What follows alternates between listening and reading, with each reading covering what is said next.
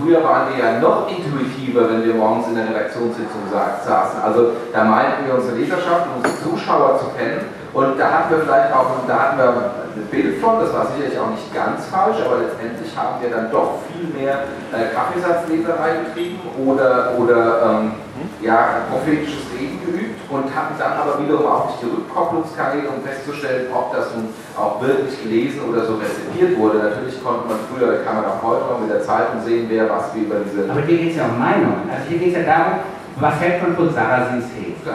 Und ich glaube, dass wir, dass wir daran, und das, das schließt sich dann nahtlos daran an, dass wir natürlich dadurch, dass wir zu einem, zur selben Zeit, und das ist das, was wir bei Stuttgart 21 zum Beispiel gemerkt haben, auch bei Sarrazin, dass zur selben Zeit, bei Stuttgart 21 das bessere Beispiel, weil viele Prozesse da involviert waren, Abstimmungsprozesse, Einspruchverfahren und so. Und man merkt auf einmal, wie viele Dinge zur selben Zeit stattfinden. Und der Bürger merkt das auch. Und ähm, Früher war das, hatten wir, glaube ich, eine sehr lineares, eine lineare Vorstellung von Dingen, die ablaufen. In der Bonner Republik, da gab es das sieben Leitmedien und da wurde das hat der Regierungssprecher sich getroffen und dann hat man sozusagen natürlich schon in diesem Kreis auch ein Meinungsbild gehabt und hat das dann sozusagen auf die Straße gegeben. Diese Linearität gibt es nicht mehr, sondern es gibt zur gleichen Zeit viele, viele Meinungen und Haltungen, die auch irgendwie auf den jeweiligen Prämissen auch gleich wahrheitsfähig sind. Aber wie würden Sie reagieren? Das ist ja, wir sind ja nicht in der Situation Politiker, würde ich Sie auch fragen, das ist ja Realität gewesen.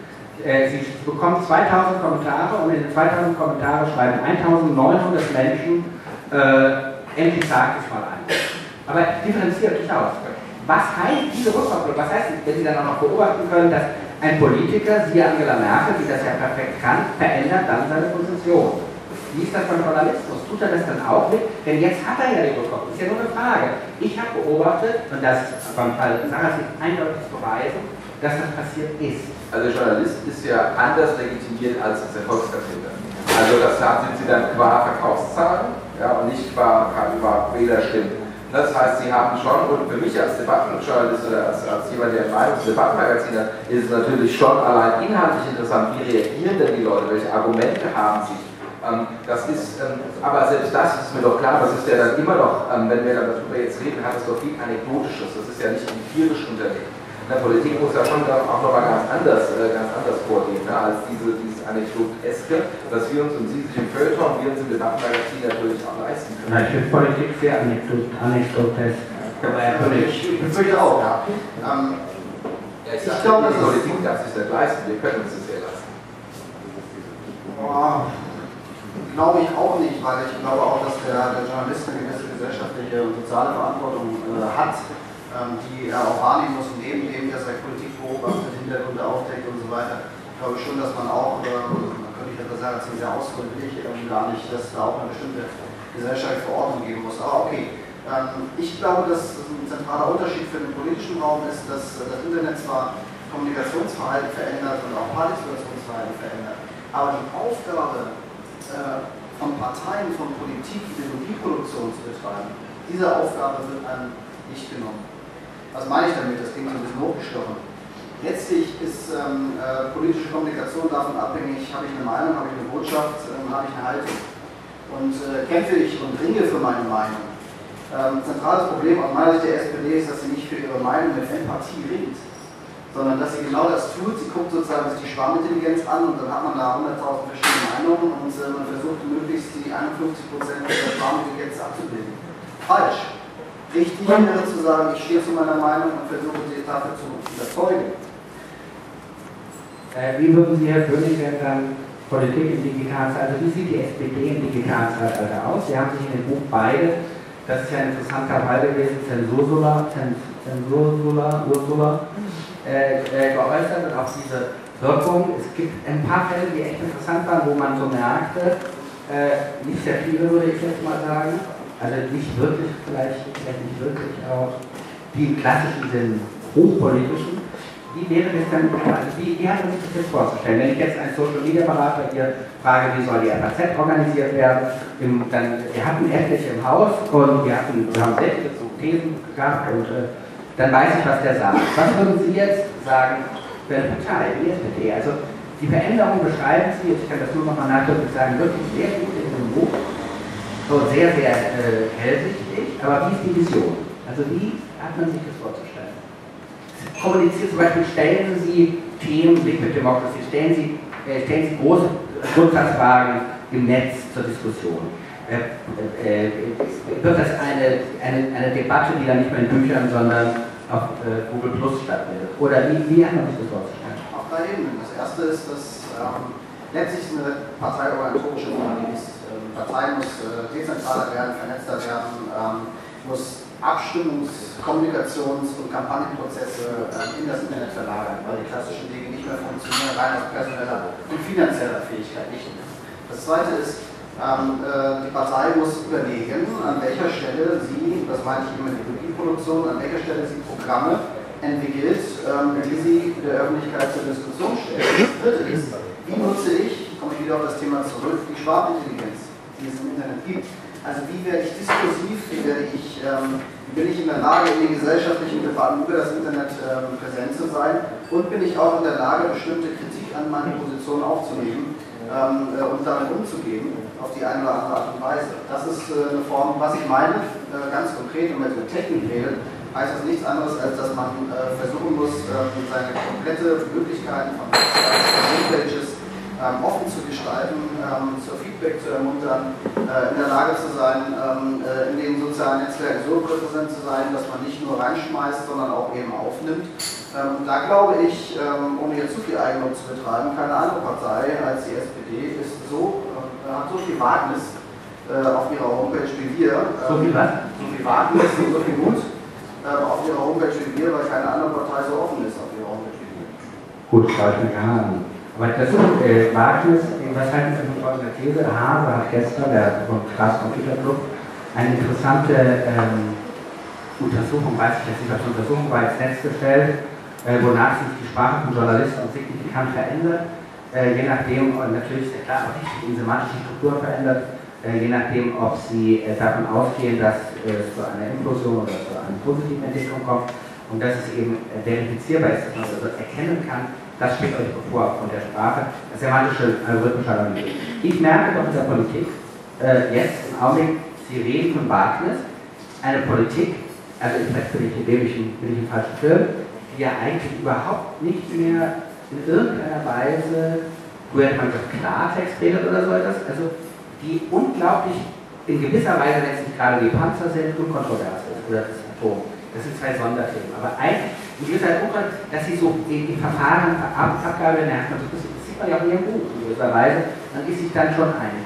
Was halten Sie von der Überlegung, oder über, es gab einen Ministerpräsidenten, der hat das sogar gesagt, dass er das versucht, dass man das Netz auch so, die Kommunikation im Netz auch so benutzen kann, ganz anders nämlich, dass man sagt, ich äh, äh, finde eigentlich hier raus, wie ich kommunizieren muss, dass man aus dem Netz nicht die Konsequenz sieht, was ja toll wäre, ich stelle mich, äh, äh, Debatte und so weiter, sondern aus dem Netz die Konsequenzen.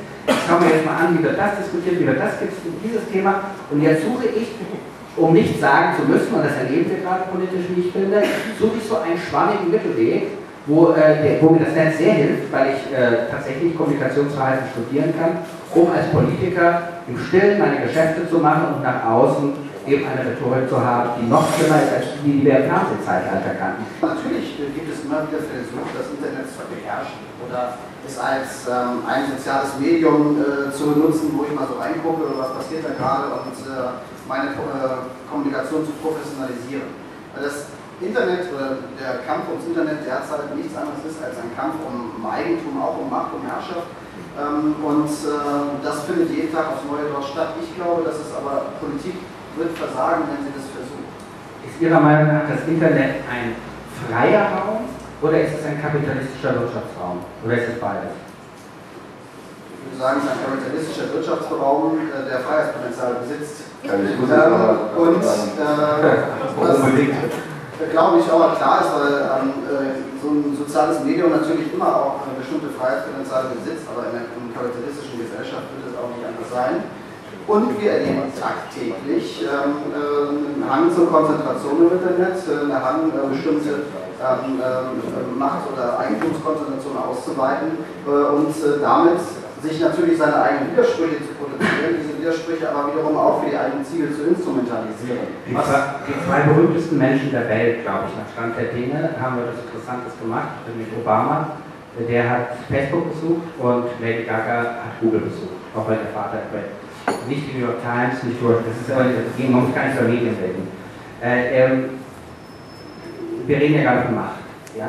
Also, ähm, was ist, was, was, wie sehen Sie das? Also, äh, wenn es ein kapitalistischer Wirtschaftsraum ist, könnte man ja sagen, auch, auch Kommunikation wird plötzlich in einer ganz neuen Weise zu einem Produkt dieses, dann ist es die Frage, wie komme ich ans beste Bookshelf, wie komme ich sozusagen bei Google nach oben, wie kann ich bei Facebook äh, reüssieren, welche, das sind ja alles Fragen, werden Sie zum Beispiel Google äh, oder Facebook, würden Sie oder werden Sie denen auch einen Besuch abstatten, äh, äh sind die äh, eigentlich jetzt wichtiger als äh, das Sommerinterview mit dem ZDF oder einer Zeitung, das, da haben Sie ja mit Sicherheit eine Intuition.